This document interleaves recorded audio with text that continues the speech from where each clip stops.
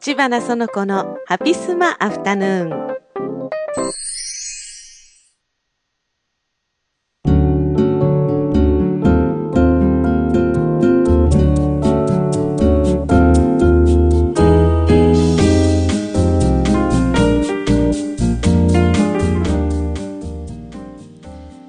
時計の針は12時を回りました。FM 小沢沖の皆さん、こんにちは。さあ、月曜日になりました。千葉のその子のハピスマアフタヌーンお届けしてまいります。一週間ぶりですね。皆さん、お元気でしたか？ねなんだか沖縄もすっかりこう春めいてきたと言いますか一時期ね暑い頃があったんですがまあ通常の気温に戻ってきたと言った方がいいかもしれませんね。20 20代え22、3度まあ高くて25度あたりになってきてますけどもだいぶ過ごしやすいななんて思うんですがそろそろゴールデンウィークがやってきます。そうなってくるとねまあ私個人的にはすぐ梅雨が来るんだなと 思うんですが梅雨はちょっとねあの鬱陶しい季節ではありますけどもまあその梅雨が来るまでの間はこう晴れ間が広がってねちょっとどんよりはしてますけどもまあ風も心地いいこの季節ウリズンの季節と言いますけどもねその季節を楽しんでいきたいなと思います。まあ個人的にはこの週末ですね日曜日シーミー第3弾ですね。私いつもお墓参り3箇所あるんですね毎年ね。その3番目が昨日終えました。あのまあ沖縄ならではでしょう。また読谷村ならではかもしれません。あの米軍基地の中にお墓があるんですね。私のこう親戚の方が。そこであの通行証をいただき、まあ、読谷村の鳥居ステーション、ね、その基地の中に入っててお墓参りをみんな、まあ、親族ね何人ぐらいかな昨日。30人ぐらいかな集まってやったんですけどもね、まあ、無事にそれを終えであのお墓参りをしながら懐かしいね皆さんとお顔合わせをして近況報告などするんですけどもまあちびっ子たちですよ。うちの姪っ子甥っ子私の息子も含め。目の前が鳥居ビーチという名前がついているこうあの米軍専用のねビーチになってるんですがそこがねスライダープールとかいろんなこうレジャー施設が整ってるわけですよ。そこ行きたい行きたいって言われてねでもちょっとねそれは無理だよと今日は何のためにこの基地の中に入ってるかっていうのをね説明しながらこう一日過ごしたんですけどもねやっぱりこう綺麗な海だなとつくづく思いました私たちが見てるねこう沖縄のこうあの海岸線とはまたちょっと違った一瞬見た感じもハワイなんですよね。こうあ最近ちょっとハワイ行きたいななんて思ってた、まあ、個人的に思ってた千葉な的にはここでもハワイ感じるかみたいなねそういう気分になってしまいましたけども皆さんはどんな週末過ごされたんでしょうね。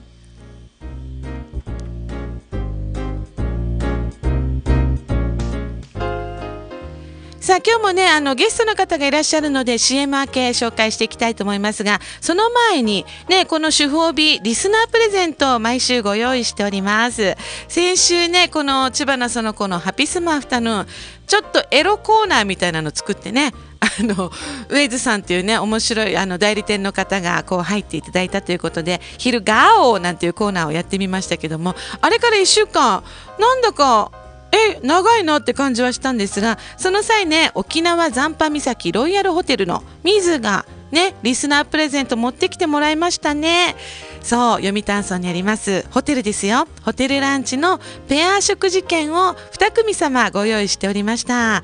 沖縄残波岬ロイヤルホテル今まで2階にレストランがあったんですがこの4月から最上階に移りましてこうパノラマビューの景色を楽しみながらのゴージャスなランチタイムをお届けできるということでねあのお知らせ入ってもらったんですが早速当選者私独断と偏見で昭和の香りプンプンの網だくじで決めさせてもらいましたよ誰でしょうねはいまず1人目当たりましたのはこちら本名でお名前来てたんですえー、っとね名字だけ言っておきましょうね女性の方で千葉なさんでございますおめでとうございますメールでねあのーパートナーに秘密にしていることっていう話の中であのアートメイクを始めましたと。眉をね描きましたという話のメッセージいただいた千葉さんでございます。おめでとうございます。後ほど私の方からご連絡しますね。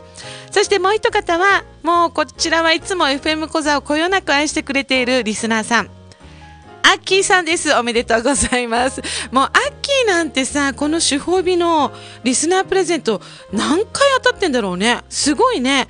毎回毎回送ってくれるから、まあそりゃそうだと思うんですが、でも、ねあのいつもこう当たったものを必ず言って FM 講座聞いてきましたなんて言ってらっしゃるらしくてありがたいなと思ってますよ。あきありがとうございます。今日も聞いてるんでしょうね。よろしくお願いいたします。はい、先週の当選者は女性の千葉さん、そしてアッキーでございました。おめでとうございます。さあ、そして今週の主婦帯リスナープレゼント紹介します。今週のリスナープレゼントは、読谷村、同じですね。読谷村にあります、紫村、ご存知でしょうか？体験王国紫村内にあります、レストラン待機のランチペア券を2組様ご用意しております。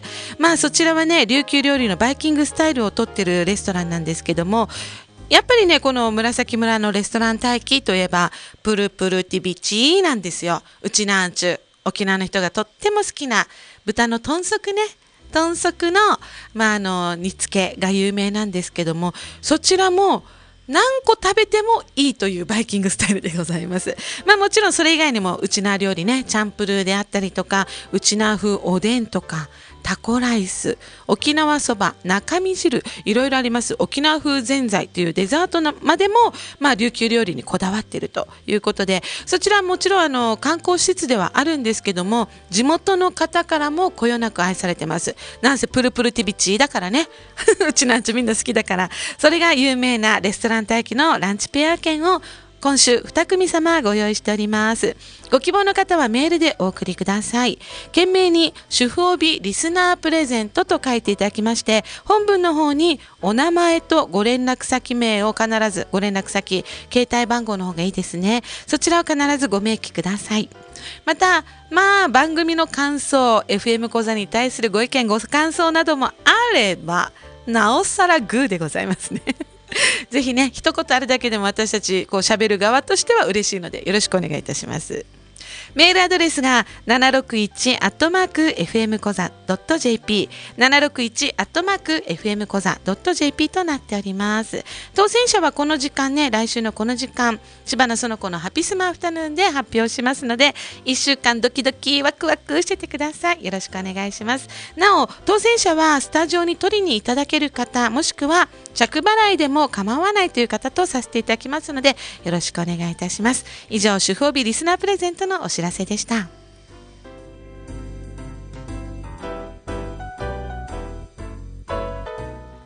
さあね、FM コザ、ラジオからも流れてるけどさ、インターネットでツイキャス、ユーストリームも合わせて配信してるんだよと。ね、ツイキャスの方見ていきましょう。誰が来てるかな？一番乗り、太郎介さんの本、さなちゃんこんにちは。ということで、太郎介さん、お元気ですか？ね。あのー、県外ですね。今日こちら27度になるそうですと。沖縄より暑い夏日でございますね。はい。そして AKB ファンさんですね。すのこさん、こんにちは。と、秋おめでとうね。ということで、当選者ね、秋に対してのコメントいただいております。ありがとうございます。さあ、そしてね、今日はあのーえっと、週報日、まあ、今日の月曜日なんですけども、えー、前半部分ゲストの方が入るんですね。その後、皆さん、またリスナーさんからのご意見を聞きたいというコーナー、二者択一のコーナーを準備しております。今日みんなに聞きたいのはさ、同窓会に行ったことある？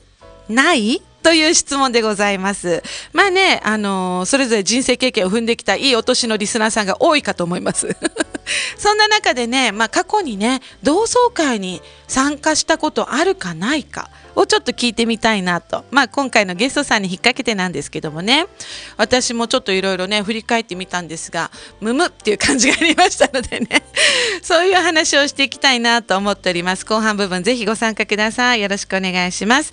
同窓会行ったことある？あなた、どうでしょうか？さあ、そして遅くなりました。今日の天気お伝えしておきましょうね。沖縄気象台11時の発表になってます。沖縄地方、湿った空気の影響で曇っていますが、八重山地方は雲の隙間で晴れてますよと。ね、まあ本島中南部地方の天気は、曇り、マーク一つ。曇りですね。今日はやっぱりちょっとね、うっすらと雲がずっとかかってる感じありますね。うん。えこの後の降水確率なんですが、1日通して10%ということです。まあ、雨の心配はないかな。ね、洗濯物干されても大丈夫みたいな感じですが、日中の最高気温は26度でございます。まあ、沖縄も夏日となっておりますが、若干風がね、気持ちいいので、そんなに暑くは感じないんじゃないかな。あとね、あの、太陽が出てない分、直射日光を受けない分、涼しく感じてるかもしれませんね。私は今日ちょっと朝長袖で来てましたね。まだ長袖ですけども。まあね、あのー、暑くなったらまたクーラー入っちゃうんで、半袖っていうことがなかなかないのがね、千葉なスタイルではあるんですが、えー、本日の風は南東の風なんですね。ちょっと、まあ、この後、あったかい風が吹くんじゃないかな、なんて思いますが、うん。波の高さ1.5メートル、うねりを伴うでしょうと出ております。まあ、沖縄本島地方、28日昼前から、ん？むむ、雷が発生する見込みとなっています。明日ですね。明日からぐぐっと天気がちょっと下り坂になっていくようです。えー、週間天気予報を見てますと、明日火曜日と水曜日の降水確率60%から70%、比較的高い数字になってますので、これね、まあ間違いなく雨降るでしょうと。ね。今夜あたりからちょっとどんよりしてくるのかな？うん。皆さんね、今日で洗濯物など済まされた方が良さそうです。以上、本日のお天気でした。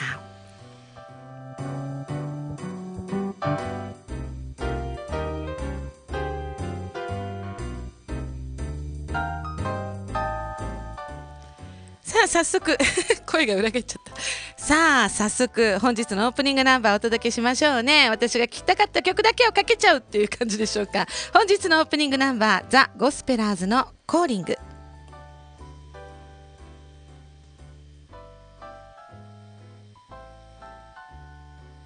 ちょっと待ってよ。ミスっちゃったね。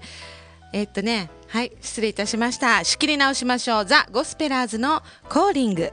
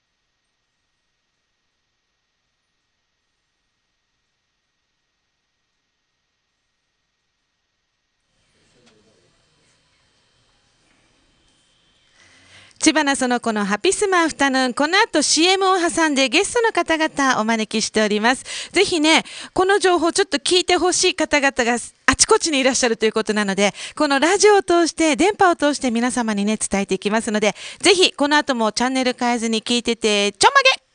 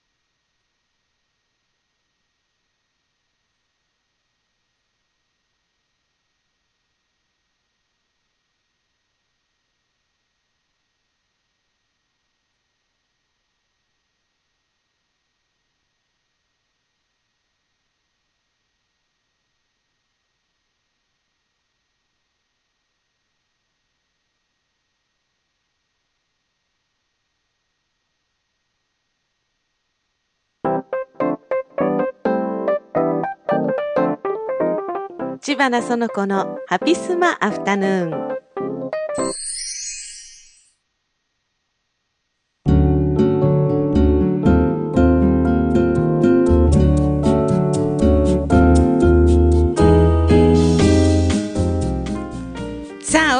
ます。千葉なその子のハピスマアフタヌーン。今週はゲストの方をお招きしております。どんな情報なんでしょうかね。私ねこの方々のお話聞いてちょっとねあのー、懐かしい友人に会いたくなったっていうのがね正直ありまして来月東京行ってきます。このきっかけをありがとうございましたということで今日ゲストの方々この方々です。自己紹介お願いします。こんにちは、えー、沖縄市の住吉一番中市場で一番町市場でマッサージやってますミュウミュウやってます池原朝日ですはい池原朝日さんですよろしくお願いします続いてあこんにちは自分今日は泊通信高校の三十三期同窓会の宣伝で来ました。はい。実行委員の上間直也と言います。はい、上間さん、マイクもうちょっと近づけましょうかね。はい、よろしくお願いします。よろしくお願いします。そしてもう一方。はい、そのお付きのもので ついてきました。あかかずと申します。よろしくお願いします。はい、よろしくお願いいたします。本日は 女性が池原朝日さん、沖縄市の出身ということでね。はい、はい、よろしくお願いします。そして上間直也さんとかかず光則さんお越しいただいております。よろしくお願いします。今あのまあ FM 講座からも先ほど CM は流れてたんですが、皆さんなんかイベントやるみたいですね。はい、はい、上間さん紹介ください。えー、っとじゃもう宣伝入っていいんですか、ね、いいですよ。えー、5月の23日の土曜日ですね。はい。えー、と場所は宜野湾市、えー、宜野湾宜野湾市上原かな、うん、の方にあるあの JA 宜野湾支店のなんだろうジュビランスジュビランス、うん、2階の方でちょっと部屋を借りてますんで。はい。じえー、と会費の方がですね。うん。一人5000円。はい。で場所時間。時間時間。開始は開始時間が、えーあ集合時間が18時6時ですね。はい。で開始時間が18時半のうん。6時半になってますんで、はい。もし聞いてる方がいらしたらぜひみんなの顔を見に来てください。ねえ。実はこの泊高校通信課程の皆さんの第33期生の同窓会。はいが開催されると、はい。でこのメンツは女性以外は33期。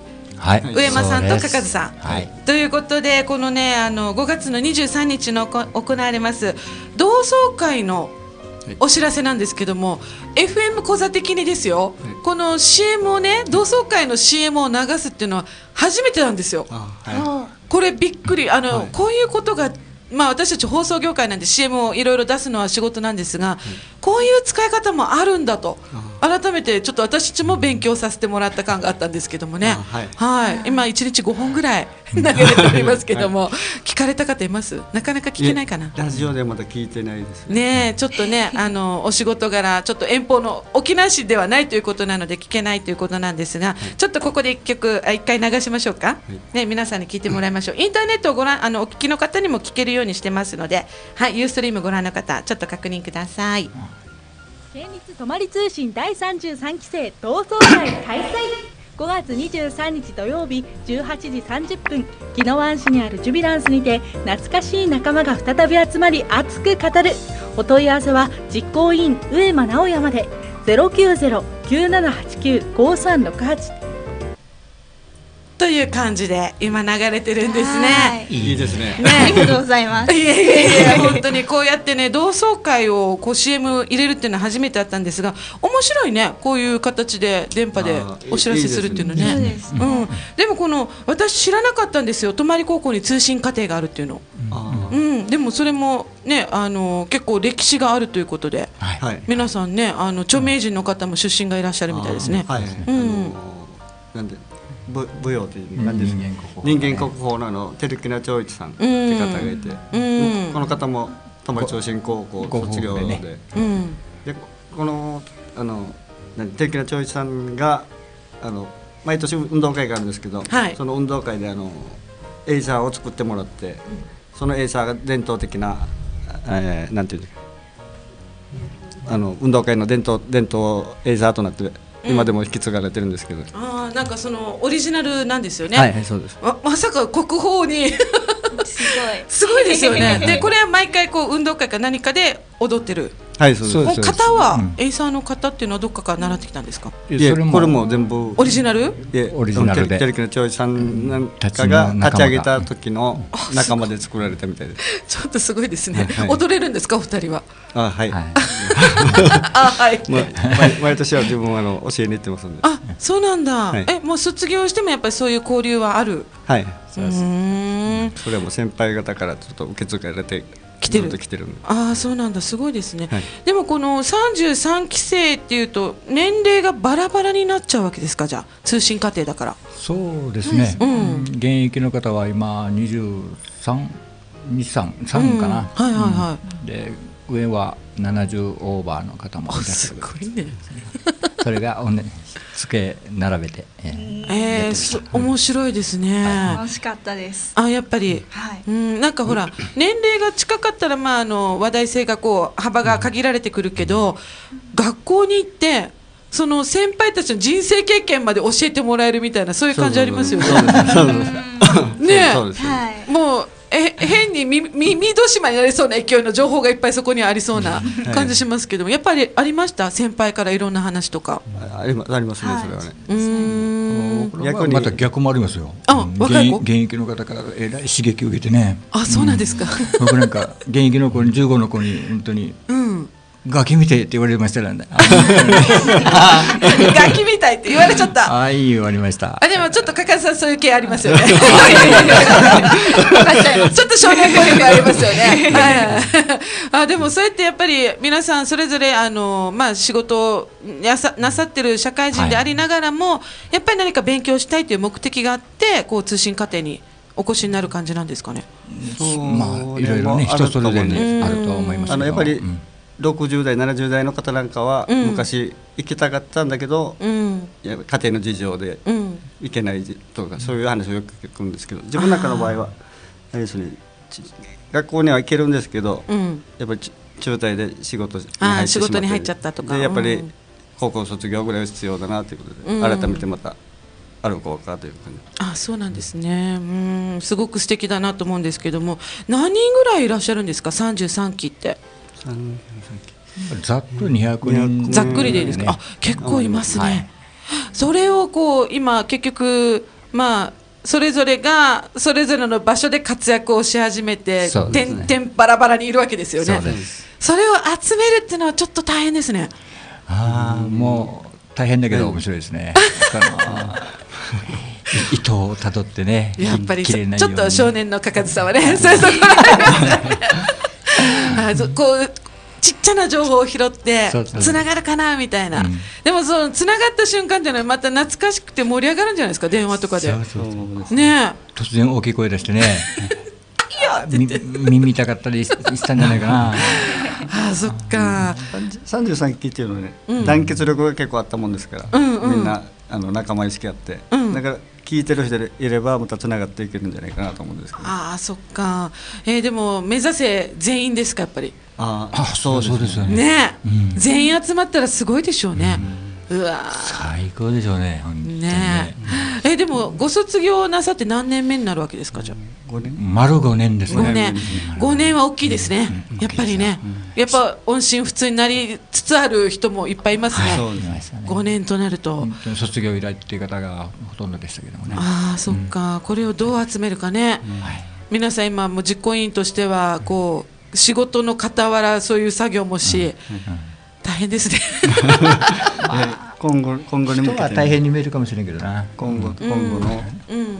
また全体的な同窓会にも兼ねてるんで。そうそうそう。うん、でもこの33期同窓会を行おうと思ったきっかけっていうのは、きっかけ、うん、なんだっけ？きっかけは忘れた。忘れた。あれですね。今度来年度ちょうど泊まり通信が 40, 40周年になるもんですから、はい。これに兼ねてあの同期生を1期生からずっと集めたいなって前々から話はあったもんですから、その前にじゃあ同窓33期の同窓会でまた仲間を集めてそれから広げていこうかって、まあ、ういう気持ちもあり今後のますね。あ今後じゃあの道筋作りかな。はい、これこそあれですね泊まり通信からしても初の試みみたいな形になってるのかな。かもしれない。ね大々的にこう何期生で集まって盛り上がろうぜみたいな、で後々来年が40期そうですね。になると。はい。三十よ三十か。39こ今度が40 39今度39今年が39で来で来年が40期周年。あそれでももう全体を集めようと。目論みもあると、はい。そのための。人間国宝も呼んでお渡ししましょう。でまた A さんやって、旗も 上げて。なんかすごいエネルギーがたまりそうな感じしますね。はいは僕の頭の中もう始まってますから。あ。あ、妄想始まってます。あ、いいですね。さすが少年かかずさんですね。あ、そっか、でも、あの、こうやって、こう、懐かしいメンツが集まるっていうのも大事でしょうけど。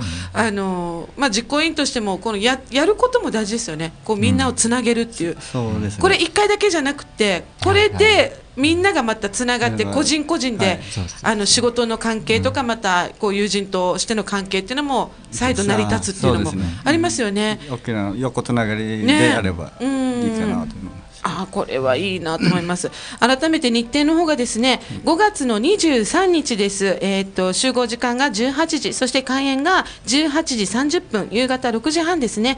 宜野湾市にありますジュビランス、そちらの方で開催されるということで、お一人様5000円で会費はね、はいあの大丈夫だということで、これ飲み食べ放題？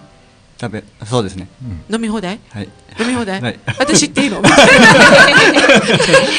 飲み放題と聞いたら行くよみたいな感じがしますけど、でも皆さんでね懐かしいメンバーでこう語り合おうということで企画をしております。まああのお泊まり通信のね、えーっと出身の方また知人にねそういう方がいらっしゃるって思ってる今聞いてるそこのあなたちょっと一言お声掛けいただきたいですね。あーぜひぜひ。なんかあるらしいよってね。そうそうそう。先生方もいらっしゃるのであね。すごい。先生も呼ぶんだ、うはい。だから会いたいなーって方は。ね33期の友達なんだけどっていう人も大歓迎ですよ。ね、そうですね、33期ってもう年齢がバラバラなんで、何年生まれなんて言えないんだけど、それでもやっぱりみんな集まってほしいということで、今、実行委員動いております。で、詳しいお問い合わせは上間さんまででよろしいんですかね？あはいうん、電話番号の方紹介しましょうか。あはいいいですか？は、はいいえー上間さんまでです。電話番号零九零九七八九五三六八零九零九七八九五三六八となっておりますので、ぜひ関わりがある人はちょっとねお電話いただきたいなと。もう速攻参加しますって電話あったらもう泣くね。はい、いいですね。聞いたよ、もうお願いって。FM 小田さん、か様々ですね。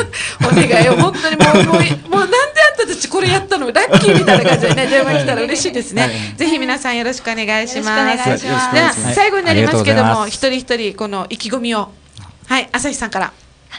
えっと全体の同窓会に向けて今回いろいろ勉強していただもらうので、あのはいよろしくお願いします。あもうお勉強しに来てますからね、朝日さんはね。はい、ありがとうございます。はい、上間さん。はあ、はい、えー、ぜひ、あの、33期同窓会成功させたいので、い。聞いてる方、遠慮なく集まってきてください。うん今後もあの 40, 40期に向けて1期生から40期生まで声掛けしてちょっと大きくやっていこうと考えてますんで、うんまたよろしくお願いします。はい、ありがとうございます。はい、少年のかかずさん。もうなんていうよりもデジになってるさもう で、まあ、バクバクしてないでしょ？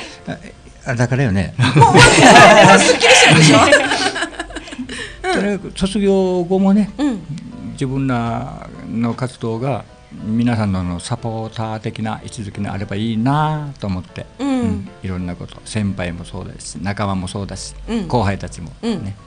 そんな風に皆さんがつながれるといいなと思ってます。はい、よろしく。ね。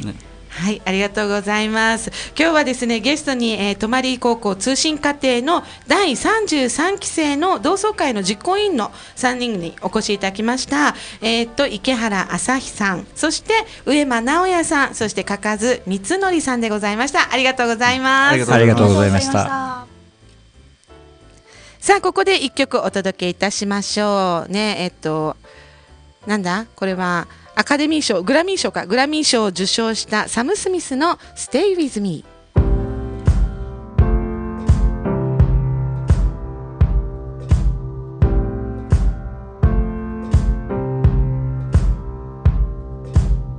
Guess it's true, I'm not good at a one night stand. But I still need love, cause I'm just a man. These nights never seem to go to plan. I don't want you to leave, will you hold my hand? Oh, won't you stay with me? Cause you're all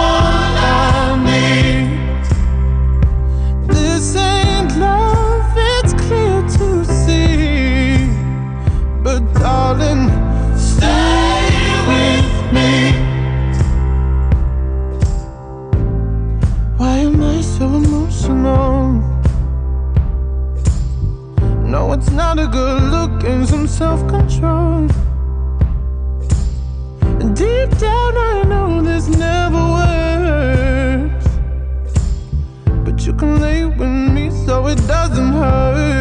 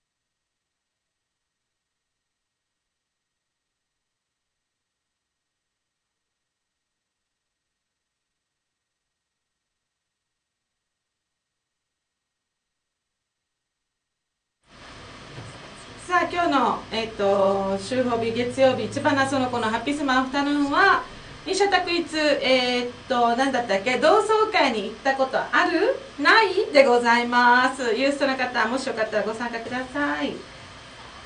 ニュニュッとニュニュッとね同窓会っていいいね。いいね同窓会ってね。行きたいですね。行きたいな懐かしいメンツに会いたいななんて思いますけどもうん嘘マジっすか？実況者？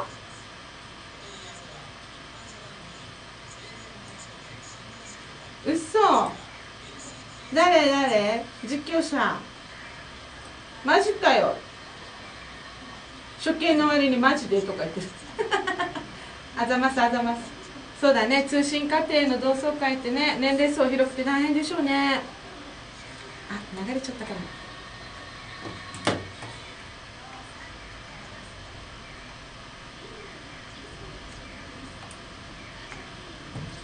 しまつた。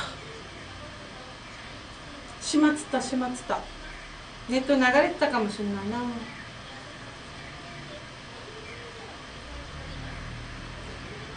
26度ちょっと暑くなってきましたね。はい。う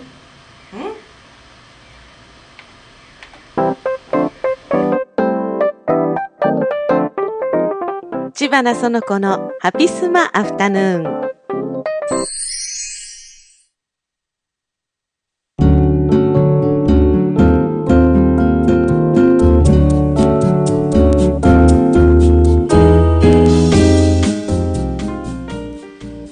けしております千葉な園子のハピスマアフタヌーンね。先ほど CM の前ゲストの皆さん入っていただきました。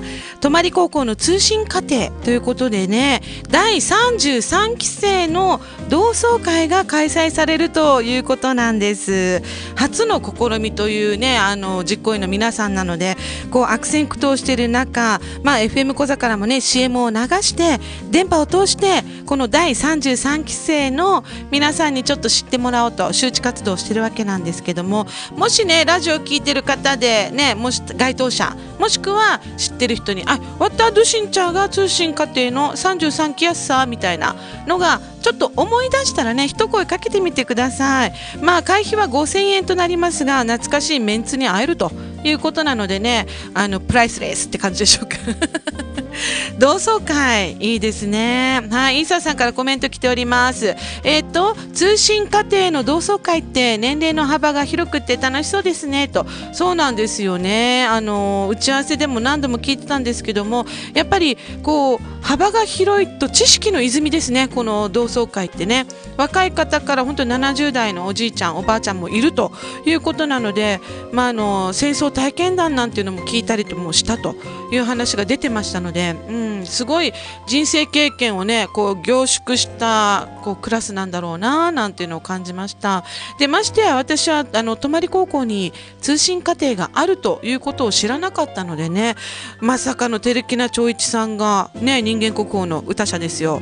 彼もそこに通っていたなんていうのを聞いた時はびっくりしました。でも言われてみるとそういうあのーやっぱり一線で活躍なさってる方っていうのはこう探求心が強いと言いますかねやっぱり学びたいっていうものが抑えられないっていうのもあったんでしょうね。その通信課程で高校卒業の,、はい、あの課程を取られたということなので、ね、すごいなと。で今はこの皆さんそれぞれね県外であったり、まあ、県内外あちこちで活躍なさっている第33期の皆さんということになってますので、ね、どうかこの電波が届くといいなと思っております。FM 講座からも CM 流れてますからね知り合いに行ったら一声かけてみてください。よろしくお願いいたします。さあそしてね今日のハピスマ二者択一なんですけどもね。あなた同窓会行ったことある？ない？どっち？みたいなね感じなんですけども。私は正直大きな同窓会っていうのは行ったことございません。うん残念ながら。行きたいなと思うんですが開催されておりません。なぜでしょうか？不思議なもんですね。なんかうちのこう生まれ同士のメンツは結構団結力があるはずなんですがなかなかねその話が途中あったんですけどもね私もあの高校がですねあの村内の高校なんですけども、えっと、中学校が2つから来るんですね。だからその中学校側の実行委員会に回ってくれよという話まで出てたんですがねどうなってることやら。まあクラス会みたいなものはねあの1回だけ参加したことはございますけどもその時もあの結局沖縄に U ターンしたばっかりの頃であのみんなのね顔と名前がこうどうも一致しないと言いますか。不思議よね。あの学生の頃に呼んでたあだ名しか出てこないというね。このあだ名もさ大人になっても使えるあだ名ならまあそれはそれでいいんだろうけど結構ねいろんなあだ名ありますよね。皆さんどうでしょうか？学生の頃ついてたあだ名ってあるんでしょうかね？私はちなみにキャップと言われてたんですけどね。キャップキャップあの部活のキャプテンやってたんでキャップなんて言われてましたけどもね。そういう流れもあったりとかでまあ同窓会になるともっと人数増えるから大変なことになるんだろうななんて思いましたけどね。はい。ぜひね、あの、同窓会行かれたことがあるという方、ないという方、コメントください。まあ、ツイキャスの方でね、太郎介さん、同窓会参加したことないなということですね。太郎介さんまだ若いでしょ？う。うん。と思う。お写真見てる感じだったね。そして、えっと、これは初見さんなんですが、実況者、ポポポに憧れてさ。俺そこの高校の出身やということでまあ家庭は違うかもしれませんがね。出身校が一緒ということでありがとうございます。出張来たら声かけてみてください。よろしくお願いします。さあそしてたるすけさんは仕事に戻っちゃうということでね。貴重なランチタイムお昼時間をねこの時間 FM 講座にもうね全くこう離れた土地のね沖縄のラジオ局に没頭していただきましてありがとうございました。そして亀さんね私の先輩だということが判明したんですが亀さんね。えーその子さん 2V カーブに始まっと始ま始まっとぐと昼寝しましょうねということで昼寝大事ですね。ちょっと仮眠するだけでもこの後頑張れますからね。はい頑張ってください。2V デイジニー 2V ソンアンシェって亀井さんが。ありがとうございます。そしてえっとねこのコメント控えておきましょうね。はい。そしてイーサーさん主催するのはしんどいねということですね。しんどいだろうね。うん大変だと思います。だから応援したいなと。ましてやね上間さん最初うんとお電話いただいた時緊張してましたね。でかかずさんをあの連れてきていただいて2人こうスタジオに来ていただいて週末にねこう打ち合わせしたんですがその時に話聞いてすごく感動したんですねやっぱりね。懐かしい友達にこう会いたいなーなんて本気で思いました。それぐらいこう情熱を持って実行委員を動かされてるんだなっていうのが分かっていただきたいなと思うんですが。まあ私は近々ね5月にちょっと東京埼玉に寄ってあの懐かしい仲間とちょっとした同窓会をやろうか。同窓会ってわけでもないんだけどね。仲間に会ってこようかなと思わせてもらいましたからね。感謝してますよ。私も上間さんとかかずさんに対してもね。そして今日あのまあ36期生ではあったんですが池原朝日さんという方がね今後40期をこう迎えるにあたって大同窓会をすると。その実行をね行うにあたってちょっと勉強させてくれと。いうことで後輩が今日一緒にね来てたんですけどもね。そういうふうになんかやっぱりね先輩が道道筋を立ててねつながっていくっていうのは素敵ですね。うん。同窓会、はい、参加したことありますか？ないですか？の質問なんですけども、えー、亀さんもないって書いてましたね。ないって、ありましたけども。あとは AKB さんとか書いてた？どうだったんだろう？うん、ちょっと遡っていかないとね、前半部分全然拾えてなかったですからね。ごめんなさいね。はい、ゲストさんたくさんね、ということでありがとうございます。前半部分でございましたけども。はい、そしてメッセージ来てます。紹介します。えーラジオネーム、イサさん、イサさん、キャスで見てるのね、イサさん。えーその他、リスナーの皆さん、こんにちは。こんにちは。6年前に中学校の全体同窓会を企画しましたよ。ほほ。企画側、お疲れ様でございました。大変な経験をなさったんですね。うん。180人以上でしたけど、半分以上が集まってくれました。先生もほぼ出席していただいて、記念品として中学校の写真入りの梅酒と花束をプレゼントしましたよ。会場を延長するほど話が盛り上がり、いい同窓会になりました。でも、主催者側はもうやりたくないなということなんですけども、インサさんありがとうございます。主催組ね、ご苦労様でした。でも達成感あったんじゃない？あの、みんながそんな延長するほどね、話が盛り上がるっていうのはね、いいと思いますよ。あの、主催者側に本当感謝しなきゃいけないいけないですね。ただ遊ぶだけじゃなくてね。うーん、そっか、中学校の同窓会ね。ははでもあれだろうね、きっと。えーっと、6年前だから、イーサさん、私と同い年だから、うん、うん、うん。約20年近くの再会ってことになるんですかね。20年ぶりぐらいな感じだったんでしょうかね。どう？あの、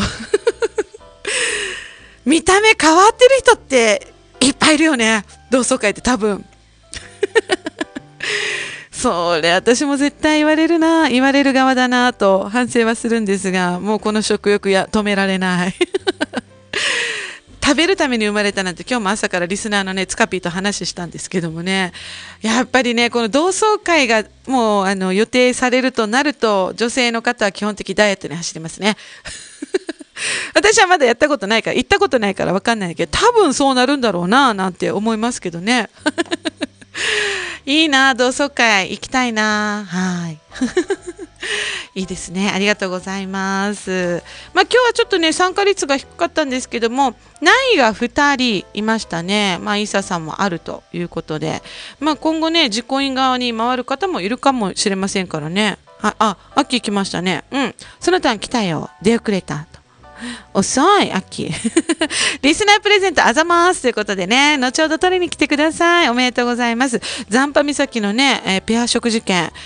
この4月からは最上階に移ってますから、景色、ロケーション good ですよ。もうその景色もね、いただきながら美味しいお料理を。誰と行くのかな？私予定開けとくよ、アッキーみたいな。行ってきてください。楽しんできてくださいね。ありがとうございます。さあ、そして今週の主報日リスナープレゼントの方は、読谷村紫村内にございます。レストラン待機のランチペア券となっております。二組様。二組様ですよ。はい。えー琉球料理のバイキングスタイルの、まあ、あの、レストラン待機。そちらね、私おすすめなのが、沖縄そばに中身汁をぶっ込むと。中身そばにしちゃえっていう感じなんですけどもね、これうまいっすよ。これやってほしいっすよ。はい。これ当たった方ぜひやってくださいね。あの、お蕎麦がもうお椀に盛られてるのね、向こうね。それをまあ沖縄の蕎麦だし入れるか、中身汁入れるか、どちらかなんですよ。それに中身汁ぶっ込んでください。めちゃくちゃうまいっすよ、これ。あの、やる人はやってます。とことんやってますのでね。ぜひね、行かれてみてください。ご希望者はメールでお寄せください。懸命に主報日リスナープレゼントと書いて、本文にはお名前とご連絡先を必ずご明記ください。忘れないでね。当選者は私の方からご連絡いたしますので、当ててください。よろしくお願いいたします。さあ、追伸メール来ました、イーサーさん。イーサーさん、仕事は？メール打つ余裕があるなら、あ、ランチタイムかな、今。お昼かな。ね。まもなくランチタイム終わりですかね。はい。イーサーさん。確かに、容姿が変わって誰だかわかんない人とかいたね、と。イーサさん、本人は大丈夫だったんですか？それは。言ってるけど、ね、変わってる人いたねと言ってますが、本人はどうなんでしょうかね？何？秋が経ったの？羨ましいということでね、残飯の食事券当たってるということでございますよ。羨ましいね。はい。ぜひね、この週報日、毎週週替わりでリスナープレゼントをご用意してますので、うん、当ててください。食べてください。あ、はい。そして、AKB ファンさんからも来ましたね。うん。その子さん、リスナーの皆さん、こんにちは。同窓会なんかしてないね、と。うん。阪神大震災以来、母親の里に帰って、住居を転々としていたので、行方不明者で連絡が取れないと思いますと。ね、AKB ファンさん。そっか、そういうね、あの背景も、まあ、あちこちあるでしょうね。うーん、何かお友達つながってるといいですね。そうなってくれると、同窓会の連絡がこう回ってくる可能性もありますから、やっぱりね、あの、年を重ねると懐かしい面々に会いたくなるっていうのがありますからね。うん。携帯番号とか変えてない？大丈夫かな？変わってなければきっと同窓会が開催されるとき AKB ファンの方にも連絡行くと思う。もし行かなかったら私が電話するから。関係ないっす。みたいなね。あ、そっか。でもそういうのもあるね。うん。まあそれを考えるとまた、あのね、東北の方々もいろいろあるだろうね。今後まあ50年後とかね何年後になった時にそういう風に出てくるのかもしれませんね。うん。なんだか同窓会に参加したくなった千葉でございますが皆さんはいかがだったでしょうか？ねまあ、こういう形で、まあ、あの FM 講座では CM も流している間、まあ、まりにこうやってゲストにも入ってもらってというふうにいろんな、ね、広告の、まあ、活用の仕方っていうのがあるんだなと改めて感じておりますので興味がある方、ね、CM 売ってみたいけど金額はどれぐらいなんだろうとかさこんな内容を CM 流していいのかなって悩んでる場合があればまずはご連絡してみてください。私が受け付けますよ。ね。山内さんも OK といいと思いますので、ぜひよろしくお願いいたします。さあ、お送りしてまいりました。千葉のその子のハピスマアフタヌーンでございますが、ね、ツイキャスのコメントがちょこちょこと入ってましたので、行きましょうかね。はいはい。ね、今日は、えっと、ゲストさんがいたがなかなか拾えずにごめんなっちゃい。はい。うん。そして、イサさん、自分は借金取りかと間違われたと。あ連絡するとき？そっか。あとフェイスブックとか探す手立てになるよねって。うん。もう今時そうですね。インターネットっていうのがありますからね。それを使うとまた意外と探せるかもしれませんね。あと AKB ファンさんは点々と番号も変わってるからと。難しいかもしれないけどでも必ず必要な時に必要な友達はつながります。これは間違いないです。あなたに必要とされる時誰かがあなたを必要とする時にはつながってるからね。大丈夫。友達ってそんなもんです。はい。さあねあっという間の時間となってしまいましたけども今週はゲストをお招きしてねそういうお話を同窓会に行ったことあるないで質問を取らせていただきました。今日はちょっとフェイスブックにも書かなかったからさバタバタしてまあコメントが少なかったんですけどもはい。もしあるんだったら皆さん行きなさいよ。ね同窓会行ってください。さあお送りしてまいりました千葉の園子のハピスマアフタヌーン。あなたの1週間がハッピーとスマイルで溢れますようにお送りしました。お相手は千葉の園子でした。そして明日の主法日は我らが声のデパートでございます。一足まきさんのユンタクランチボックスお届けしてまいります。まきさんもイベントをね、控えてるということでお知らせも多々入るかと思いますので、そちらの方もぜひ応援よろしくお願いいたします。近々私の方でもね、まきさんのイベント紹介していきたいなと思ってますから、ぜひこの後も FM 講座お楽しみください。それでは千葉なそのことはまた来週お会いいたしましょう。チャオ